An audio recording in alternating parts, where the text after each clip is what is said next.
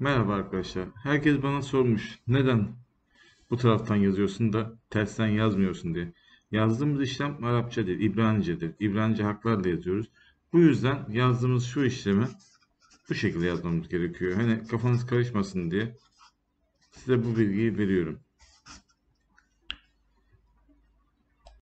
Merhaba arkadaşlar, ben Ercüment Hoca. Bugünkü yapacağımız işlem evlilik büyüsü. Eğer ki çok evlenmek istediğiniz biri varsa, bu kişi size yaklaşmıyorsa, onu bu yola sevk etmek için yapacak olan bir işlemdir. Aslında üzerindeki kaygıları kaldırmak için yapacak olan bir işlemdir. Buraya adınızı, doğum tarihinizi ve anne isminizi, buraya da arkadaşınızın adı, doğum tarihi ve anne ismi yazın. Daha sonra bu kağıdı toprağa gömün. Kısa bir süre içinde etkilerini göreceksinizdir. Kağıdın ekran görüntüsünü alın. Daha sonra bilgisayar çıktısını alın. Dediklerimi yapın. Ayrıntılı bilgi almak için de bana WhatsApp üzerinden ulaşabilirsiniz. Allah'a emanet olun.